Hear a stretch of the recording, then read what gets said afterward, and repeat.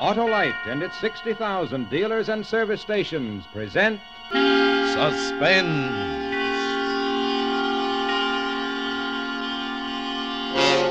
Tonight, Autolite brings you Miss Agnes Moorehead in The Trap, a suspense play produced and directed by Anton M. Leader.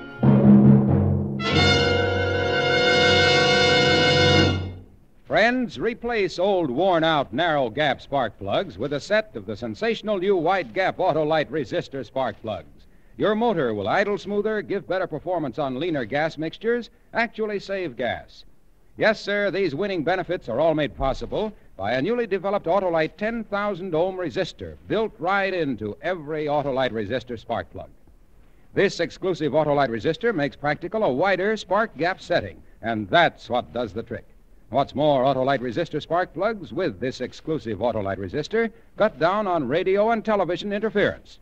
So, folks, see your Autolite dealer and have him replace old, worn out, narrow gap spark plugs with a set of the new Autolite resistor spark plugs. Remember, you're always right with Autolite. Yes, sir. And also remember the Autolite Suspense Show is now on television. Every Tuesday night in many parts of the country. And now, Autolite presents Agnes Moorehead in a tale well calculated to keep you in suspense.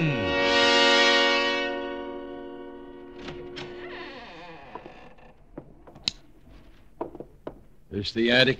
Since it's at the top of the house directly beneath the roof, what else could it be? Yes, this is the attic. Air seems kind of dead in here. My father used it for a studio when he was alive. It's soundproof. Sometimes he slept here. Anybody sleeping now, Miss Crane? I told you I lived alone. Alone. A L O N E. I've lived alone ever since my sister. Must you ask such stupid questions? Anything missing or changed in this Well, room? if there were, I'd have mentioned it. You've asked the same question about every room from the basement up. One thing is certain. Well, one thing is certain. It ain't burglary, Miss Oh, Crane. brilliant. Brilliant. And I agree. Since nothing is missing, it ain't, as you say, burglary. Really, now I never knew such Take it intelligence. easy, Miss Crane. Just try to relax. Don't tell me to relax, please. I'm awakened in the middle of the night by someone whistling in a house I believe to be empty, except for myself. And I call the police, and, and what's the upshot of it all? Two incompetents clumping about, urging me to relax. You sure you heard whistling? You, you sure? Are you trying to tell me I was dreaming? We ain't. Uh, uh, we're not trying to tell you anything, but what we've got to try to discover is if there's a possible explanation. Now, right now, we find no sign of breaking and entering, no sign of burglary, no I tell prowling. you, I heard it. Uh, anything like this ever happened before? No. But this evening, when I was preparing dinner, there was a muffin missing from the bread box. I know I didn't eat it myself. And the clock in the hallway, when I was leaving for work yesterday, I, I noticed it had stopped, and I made a, me- a mental note to wind it when I returned. But when, when I came home, it was ticking away as if it had been. Why did you look at each other like that?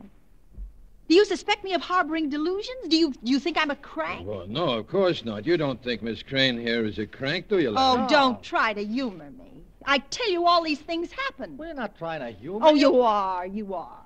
But they did happen. Someone ate my food, wound my clock, walked through the house whistling. It's as though someone were living here with me.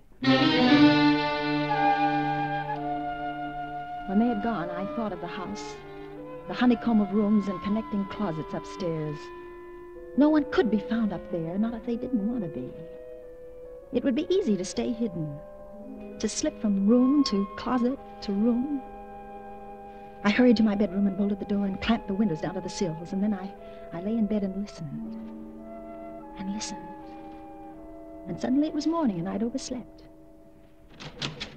Oh, I- careful, I'm careful, sorry. careful, Miss Crane. You almost knocked me right off the I'm porch. Sorry, I didn't see you. I'm late rush, for work. rush, rush, rush, rush. Everybody these days seems I to be in overslept. such... Is there any mail for me? Nope. I'd be out of a job if everybody got as few letters as you I do. dare say you're I- right. I really not must. I've so got- fa- Not so fast. Something I got to explain to Hey, you. Eddie, got anything for me? Yeah, quite a few. Be right with you, Mr. Holmes. Snap it up, will you? I've got to catch a I'm train. very late. This'll only take a second. Now, oh. here, let me show you. Now, you filled out this part all right, What? but What is this? the Form 22 you left in your box for me. Order to change address. You filled out this part all right, Order but to right. change address. Yeah, what are you uh, talking these lines are filled out okay. Name, old address, and new address. But is that Thomas Cook and Son, Paris, France, or Thomas Coke and Son, Paris, France? Well, it says Thomas Cook and Hey, Son, Eddie, but what do I you never. say? Just a second, Mr. Holmes. I'm showing Miss Crane how to fill out a change of address card. Where is she going? Where you going, Miss Kate? I don't understand. I never filled I out. said, any- where is she going? Paris, No, I didn't put this card in the mailbox. I don't know Eddie, anything do I get my it. meal Well, today or uh, yeah, I? just uh, anyway. You forgot to write your signature down here at the bottom, Miss Crane, and unless you do that, your mail won't be forwarded. You understand? No, I so don't just please- understand. I didn't fill out this card. Oh, there's my bus. Oh, here, give it to me. I have to run. Well, if I don't see you again, Miss Crane, have a nice time.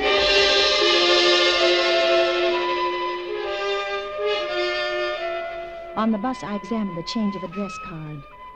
The information it required had been typed, but not by me. I, I was sure of it. Not by me. By whom, then? I looked at the card again. The crossbar on the capital T was lopsided, and all the E's were out of line, slightly higher than the other letters. There couldn't be two typewriters with two such defects together. There could only be one. Suddenly, I felt sick to my stomach. There was only one typewriter like that, and I knew where it was. On the desk in my living room. I worked like an automaton all day, going through the usual routine of a physician's secretary. But my mind was not in the office, it was at home, following the intruder in my house from room to room. Now in the kitchen, now in the library, now perhaps in my bedroom, smiling a bleak, faceless smile and planning to. to what? Something dangerous? Something dangerous. Helen. Helen. Huh? Oh, oh yes, Doctor. Yes, doctor. Now relax, Helen. We're alone. It's time to close shop. What? Time to go home. What is it, Helen? Are you ill? No, no, I, I. Well, it's just that I, I, I didn't get much sleep last night. I, I was awakened by someone whistling in my house. What? Yes, around three this morning. I phoned the police and they searched, but they weren't really looking. They didn't believe me. But I heard it. I heard it distinctly. I even recognized the Oh, tune. relax, kid. Relax. Now, come on now. You recognize the tune? yes, I recognize. Aloha. You know. Farewell to thee. Farewell to thee. The time has come. Why do you smile? Helen, if you came to me with this story as a patient, I'd prescribe a vacation. You want one so badly. You even dream you're about to go off on one. To Hawaii, no oh. less. Complete with musical Oh, how can you be so stupid? I'm sorry, Perry, but it's infuriating to be told it was a dream when I know that there are things happening in the house that frighten me. Last night there was a, a a muffin missing from the bread box. And I. You I- probably ate it. Oh. Now, everyone has had similar experiences. Now, many times I find a cigarette smoking in my hand, and I have no recollection of having lit it, you see? Oh, and the clock? It was run down and then it was going again and I hadn't wound It it. may not have been run down. Oh, it- Now, a, a gear may have jammed for a few minutes or something like that. And this morning the mailman told me Now, about now, it. Helen, now, please listen to me. It seems to me that you're in a bad state of mind. You're finding dark omens and bloody portents in normal, everyday occurrences. You're being neurotic about these Oh. things. you're like Chicken Little running to tell the king the sky is falling. You go on like that, and pretty soon they'll come and wrap you in a cold, wet sheet. and- You think I'm losing my mind? hmm? You do. I No, tell no, no, no, I was only kidding. Say, are you still living alone in that big old barn of a house? Yes, and it's not a barn. It's a perfect. Okay, com- okay. You're alone too much, Helen. How long has it been now since... Two years. Jessica's been away almost two years. Well, it was all right for you when she was there. I mean, she was a lively kid. She filled the house with excitement and energy. And necking parties and drinking and great hulking boys following her around. It was disgusting. A lively kid. She was wild and a cheat and a liar and everything else. Now stop it, else. Helen. I've no desire to rake over old coals. I'm, I'm, I'm only offering you sound advice. It's not good for you to remain in that house all by yourself. Now, why not rent out part of it? The whole upstairs, say. Fill the place with people and... No. and- no? No, I don't want people in my house. It's my house now, and I like it the way it is. Okay. Uh, can I give you a lift? No, thank you. Right. Helen, if, uh, if you don't like the idea of renting part of your house, why not close it entirely for a while and, and take a vacation? I recommend that as a doctor, even though it'll be tough getting along without you. Now think about it, will you? Think about it.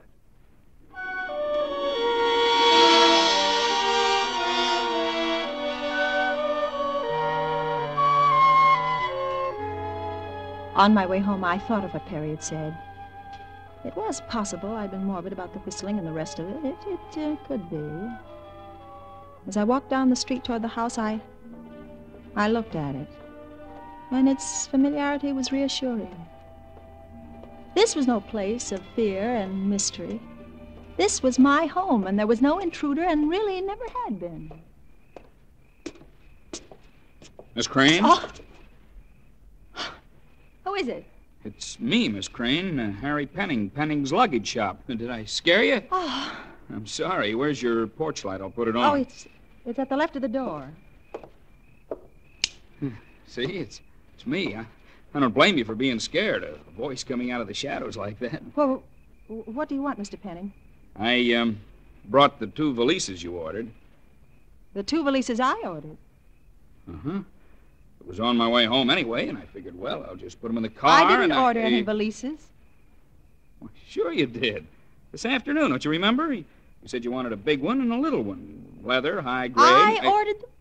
I did, Yes, I took the order myself this afternoon. but. I didn't. I was nowhere near your shop. Oh, well, you, you telephoned. You said you were going on a vacation soon and you wanted no, to have. no, I didn't. One of us is crazy, Miss Crane. Crazy. well, well, when I say crazy, I don't mean crazy, of course. Excuse me. I mean, well, uh, I know you ordered them and asked me to have them delivered. Oh yes, yes, yes. That's right. I remember now. I remember now. Two valises. Yeah, that's it. I, I guess in the hustle and bustle of getting ready for a vacation, a thing like this could slip your mind. yes. It slipped my mind. Yeah, well, now, uh, you want want to pay me now, or should I send you a bill? Yes, yes. Send me, send me a bill. Yeah, well, uh, have a nice time, Miss Crane. Believe me, I sure envy you. I sure do. I'd like to change places with you.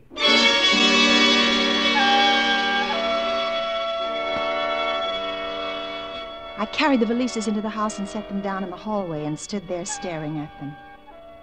Perry said I had dreamed of a vacation. Had I? And had I put a change of address card in the mailbox? And ordered these valises? Either I was losing my mind or I'd been right all along. Was there someone in my house? Someone who not only wanted to live there, but who also wanted me out? I was in an agony of confusion and indecision. And then. I... What's that? Oh, no. Oh, no. No.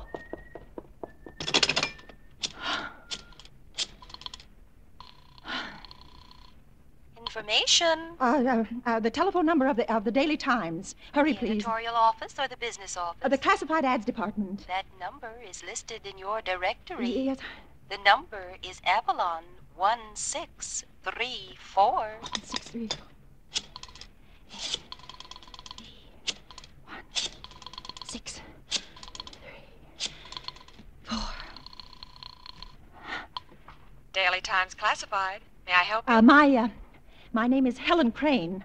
I, I want to put an ad in the for rent column. Uh, five bedrooms, uh, uh, share bathrooms, low rent, inspection after 6 p.m. Uh, the address is 1132 Gerolman. I I want it to run every day until further notice. All right. Shall we bill you at that address? Yes. Uh, will that be in tomorrow's Times? Yes, it will. Oh, thank you. There!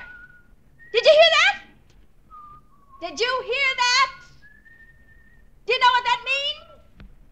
It means this house will soon be filled with people. There'll be people living here, eating here, sleeping here, crowding you out. There'll be no room for you, do you hear me? I know you want me to leave, but I'm not going. You are! You are! You are! You are! You are!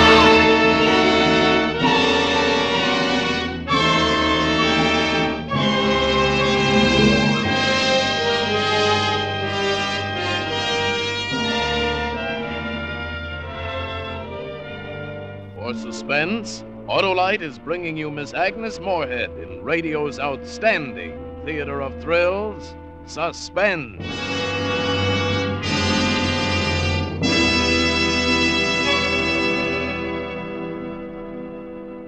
Oh, I hear you're going to be a summer theater actor. To be or not to be, full of pep, there's no question. Those Autolite resistor spark plugs maketh thine engine idle smoother. Make it better to perform, forsooth, upon leaner gas mixtures I wot. Oh, Shakespeare, I hope you're an understanding man. Friends, Romans, countrymen, lend me your ears. Each Autolite resistor spark plug hath built in a mighty might, a 10,000 ohm resistor that permitteth wider gap settings, actually increaseth the electrode life 200%, yea, and more. Ah, parting is such sweet sorrow, but not if thou partest with old narrow gap spark plugs, and install in thine engine those peerless paragons, wide gap Autolite resistor spark plugs.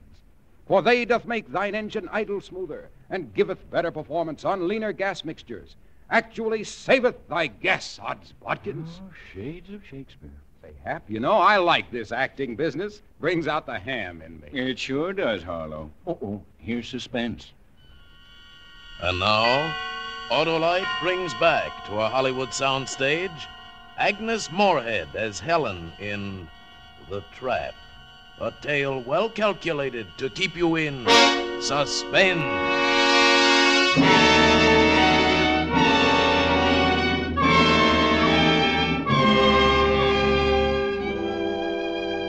My sleep that night was deep and refreshing, and I awoke next morning and went to the office feeling very pleased with myself.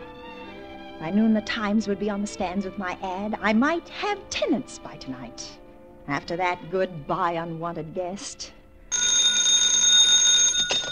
Good morning. Dr. Coleman's office. I'd Like to talk to Miss Crane. Speaking. Uh, this is the Hughes Lock and Key Company, Miss Crane. About that padlock you ordered. Just, ready just a for you. minute. What did you say it was I ordered? Padlock, the one you ordered yesterday. This is Miss Crane, ain't it? Miss Helen Crane? Yes. Well, I think we located the kind you wanted. Believe me, it was a job doing it. In the first The place, intruder wanted the padlock? no more. And in the Why? second place, they ain't How did the padlock enter the scheme to force me out of the house? Folks are satisfied with For a moment, I was frightened. Then I realized it didn't matter. I'd already taken steps to ensure my remaining. My house would soon be filled with people. Do you want me to bring it over to the house now or later? Now, if you like. Will there be somebody there to let me oh, in? Oh, yes, yes, somebody is there. Okay, Doug. Thanks, Miss Crane. Goodbye. Goodbye.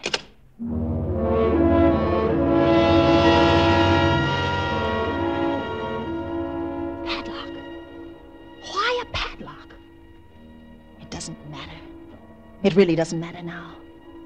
At noon, I left the office and went down to the lobby for a newspaper.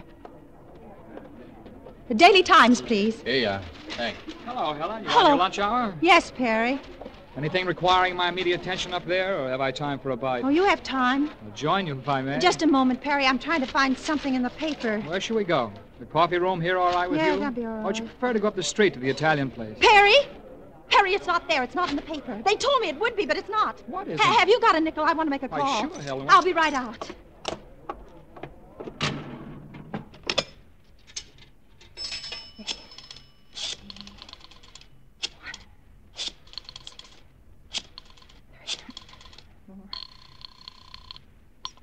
Daily Times Classified. May I help you? Uh, this is Helen Crane. Why isn't my ad in the paper? Did you place an ad with us, ma'am? Yes, I did over the phone last night, but it's not in there today. Why didn't you run it? Well, just a second, ma'am. I'll check it with our phone orders. Was it supposed to start today? Yes, yes, it was. Well, I have it here now. I remember. I took it myself. Helen Crane, Yes? 1132 North Geralman. Yes. Well, the ad did not appear, ma'am, because shortly after it was placed, it was canceled. What? Canceled. The notation on the slip says that shortly after it was placed, it was canceled. Also by telephone. Hello? Hello? Thank you. Are you all right, Helen? Helen, are you all right? What is it, Helen? What is it? Do you feel ill? Oh, I'll, I'll go upstairs and lie down for a few minutes. You won't do anything of the sort. I'm sending you home in a cab right now. Now, you get into bed as soon as you arrive and phone me if you have a temperature. I'll try to drop in to see you first thing in the morning. And, Helen, I... Yes, yes. Oh, I wish you'd give some thought to taking that vacation.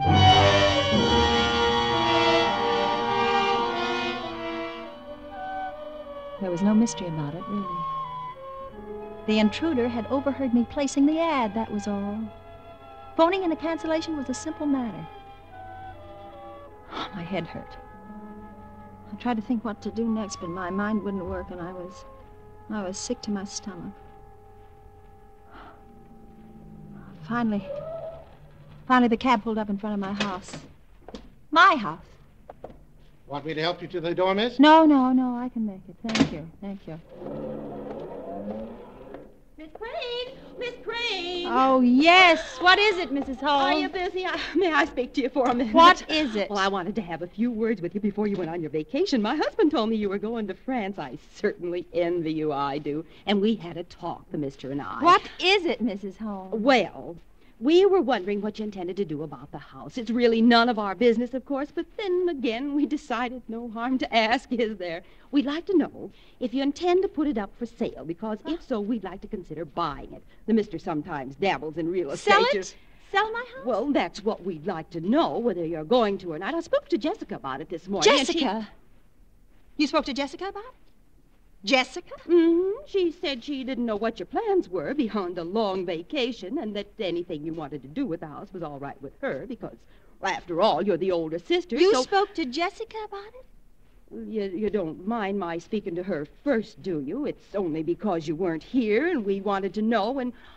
Say, hasn't she blossomed out? Who? Jessica! Oh, her two years up there didn't do her a bit of harm, did they? She told me it was more like a, a college than a reform school. I guess she did learn a lot there. I asked her how she felt, you know, about you for having committed her. And she said she'd always remember you for having given her a purpose in life. Where is she? Jessica. Where well, is she? I, I, I heard some hammering from upstairs in your house a few minutes ago, so I guess she must be up there. You, you won't forget to tell me, will you, about selling the house, I mean?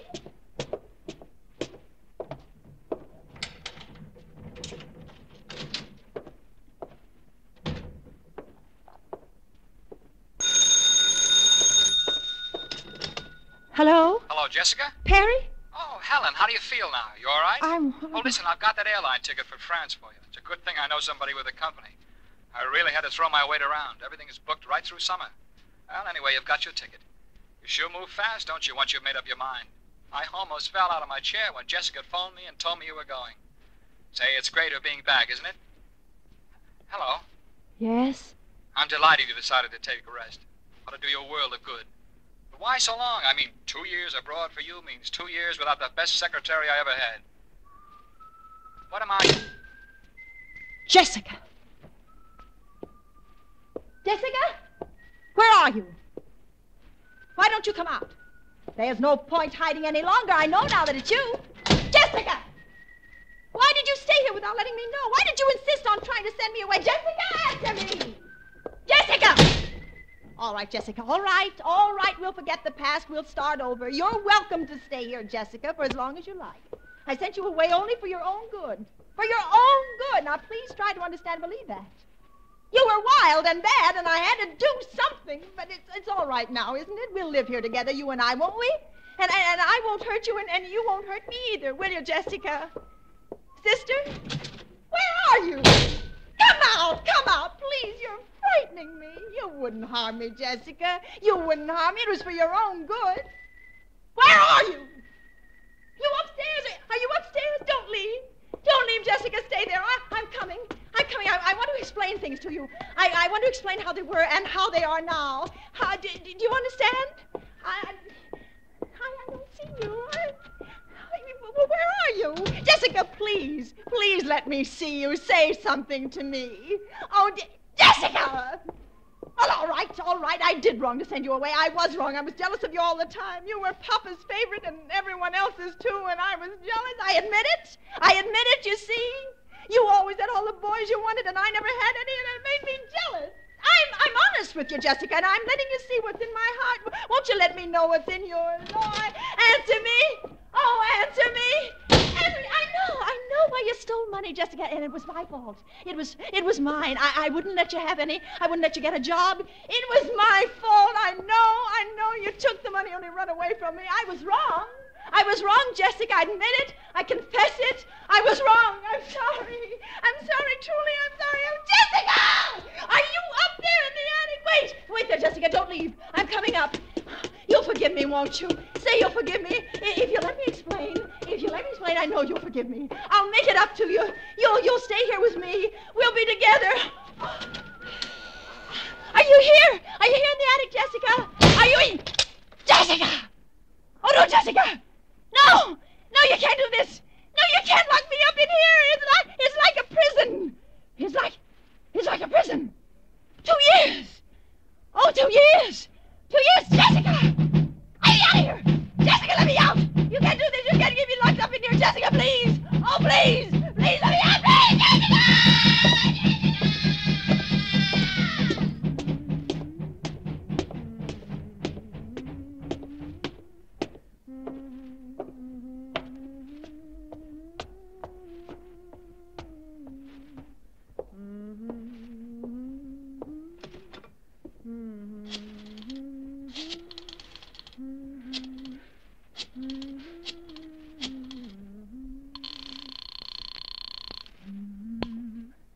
Hello, Perry? Yes? Jessica? Perry, Helen has just had what I think is a marvelous idea. She's busy, busy finishing packing, or else she'd tell you herself.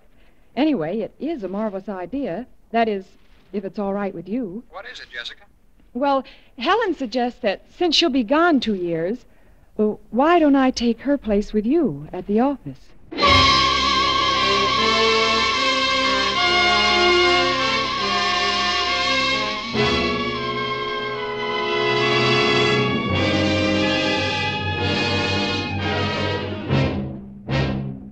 Thank you, Agnes Moorehead, for your third splendid suspense performance this season. Oh, uh, Miss Moorehead, Yes, Mr. Wilcox? since you've been our guest star on Suspense so often, by now you should be thoroughly familiar with my remarks about Autolite resistor spark plugs. Well, I think I am.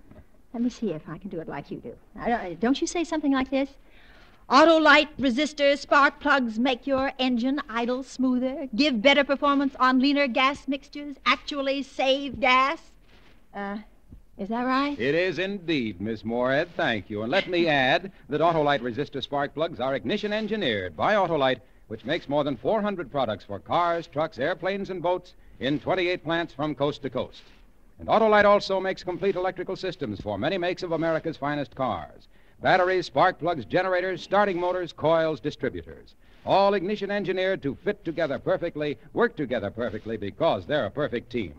So, folks, don't accept electrical parts that are supposed to be as good. Ask for and insist on Autolite, original factory parts, at your neighborhood service stations, car dealer, garage, or repair shop. Remember, you're always right with Autolite.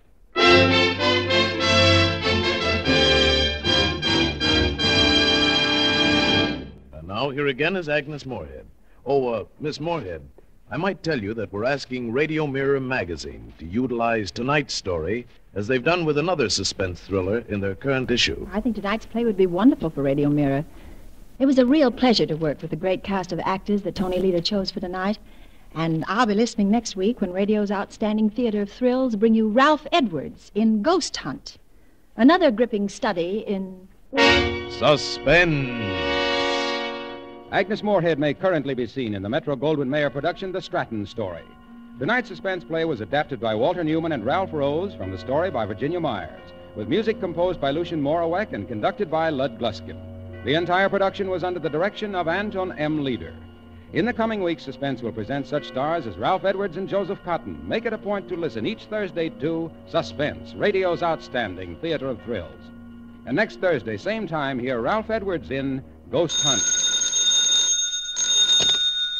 Buy Autolite resistor spark plugs, Autolite electrical parts, Autolite stay full batteries at your neighborhood Autolite dealers. Switch to Autolite. Good night. This is CBS, the Columbia Broadcasting System.